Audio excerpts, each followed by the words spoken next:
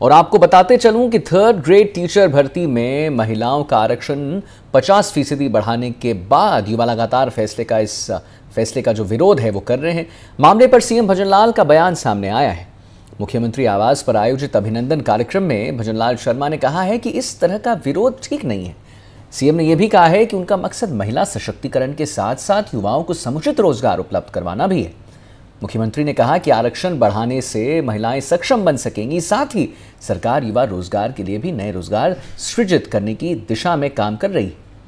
उन्होंने ये भी कहा है कि नई भर्तियाँ निकालने जा, निकाली जाएँगी और पुराने बैकलॉग को भरा जाएगा।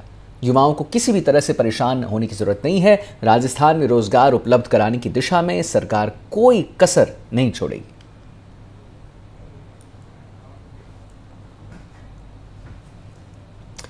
और राजनीति में कोई चीज़ स्थायी नहीं होती।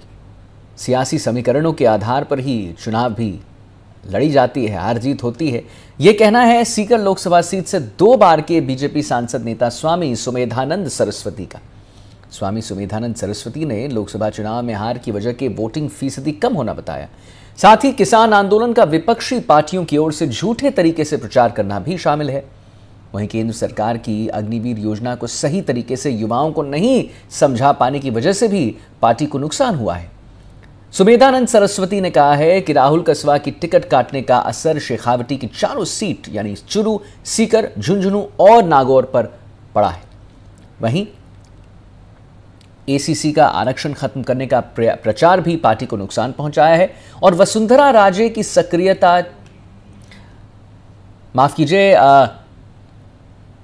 अस्सी का आरक्षण खत्म करने का प्रचार भी पार्टी को नुकसान पहुँचाया है। वसुंधरा राजे के बारे में उन्होंने कहा है कि वसुंधरा राजे की सक्रियता चुनाव में कम रहने के सवाल पर सुमेधानंद सरस्वती का यह कहना था कि मैडम अगर चुनाव प्रचार करती तो पार्टी को लाभ ज़रूर मिलता।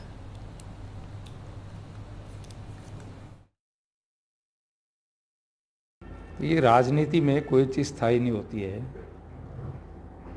अनेक समीकरण बनते हैं, उन समीकरणों के आधार पर आर्जित होती रहती है।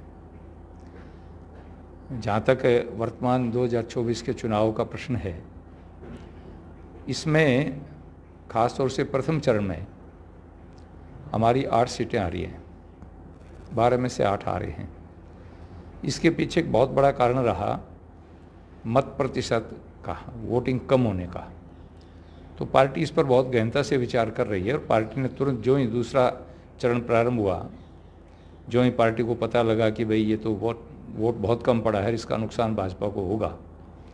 तो पार्टी सक्रिय हुई और दूसरे चरण में मत प्रतिशत बढ़ा और उसका लाभ पार्टी को मिला कि पहले चरण में हम आठ सीटें हार गए और दूसरे चरण में तेरह में से केवल तीन सीट रही